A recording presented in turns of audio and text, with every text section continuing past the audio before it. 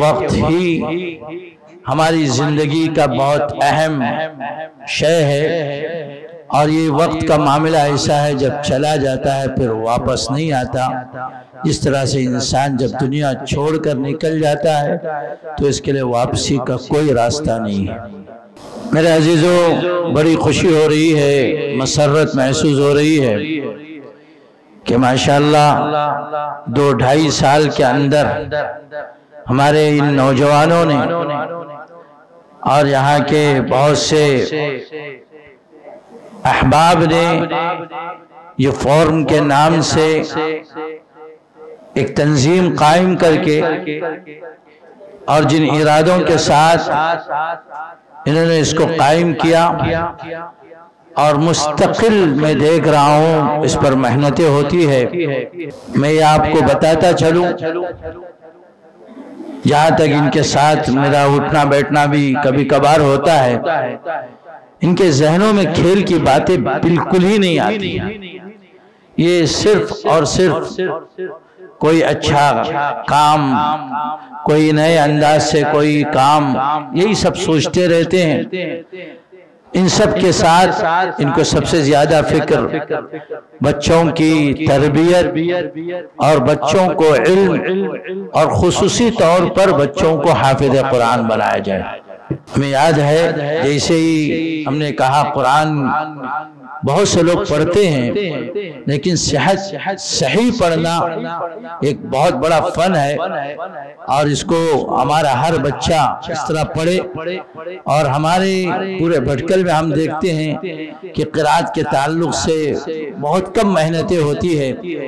माशाल्लाह जब इनके सामने बात रखी इन्होंने कोशिशें की और यहाँ भी चंद बच्चे तो इतना उमदा कुरान पढ़ते मैं आपको क्या बताऊँ।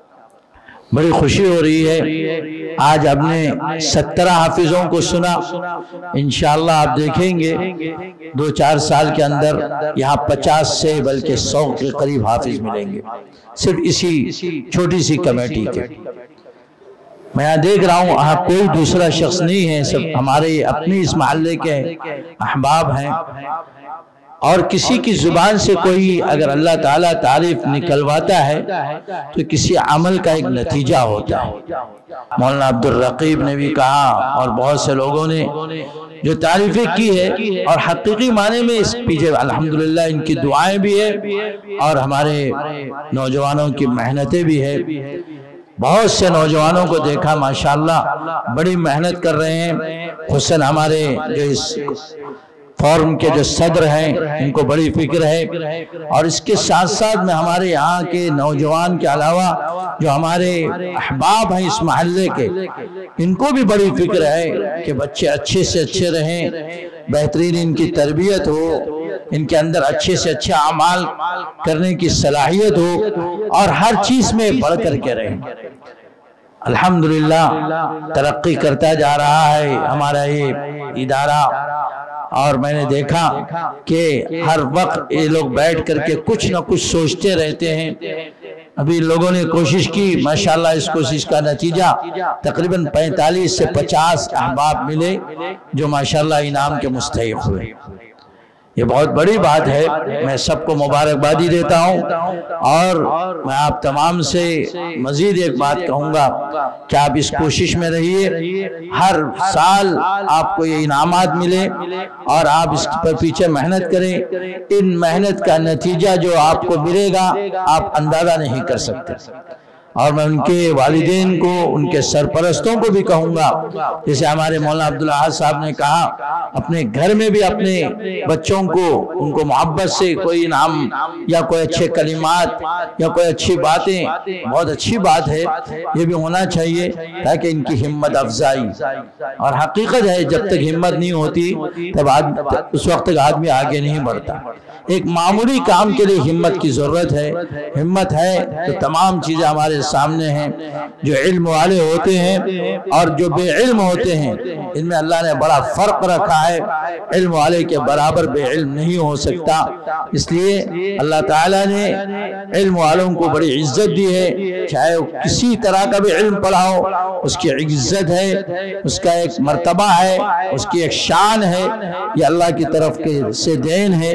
इसकी फ़िक्र करनी चाहिए। और इसको मैं खास करके इन नौजवानों से और इन बच्चों से कहूँगा, आप ज़्यादा से ज़्यादा तरक्की करने की कोशिश करें। इन सब के साथ अल्लाह के जो अहकाम हैं, रब ने शरियात में जो बातें कही जाती है, उसको सबसे आगे रखें। हमारी नमाज़ बिल्कुल ना कज़ा हो, न सुन्नतें हमारी जाए, अखलाक अच्छे हों, ये तमाम चीज़ें बहुत ज़रूरी है। इसी से हम बढ़ेंगे, हमारी इज़्ज़त होगी। अगर इन सब चीज़ों में हम पीछे रहेंगे तो हमें इज़्ज़त कभी नहीं मिलेगी। आप जितनी भी तरक्की कीजिए, लेकिन अल्लाह को राज़ी करके दुनिया में आने का मकसद सिर्फ़ और सिर्फ़ एक है, बस अल्लाह हमारा राज़ी हो जाए। जब रब राज़ी होगा तो हमें जन्नत भी मिलेगी, जहन्नम से हमारी दूरी भी होगी, और अल्लाह भी राज़ी, अल्लाह अल्लाह राज़ी होगा तो अल्लाह के रसूल भी राज़ी होंगे, और हमारे माए बाप हमारे उस्ताद, हमारे मोहल्ले वाले, हर एक हमसे राज़ी होंगे। मतलब हमारा एक ही मकसद होना चाहिए मेरा रब कैसे राज़ी हो? अब जब रब के राज़ी होने की फ़िक्र होगी तो इंसान अपने आप को बहुत से गुनाहों से बचाएगा बुराइयों से बचाएगा अपनी एक इज़्ज़त बाकी रखने की कोशिश करेगा तो अल्लाह ताला उससे खुश होंगे और फिर अल्लाह इस दुनिया में जब इतनी इज़्ज़त देते हैं तो आखिरत में क्या इज़्ज़त होगी?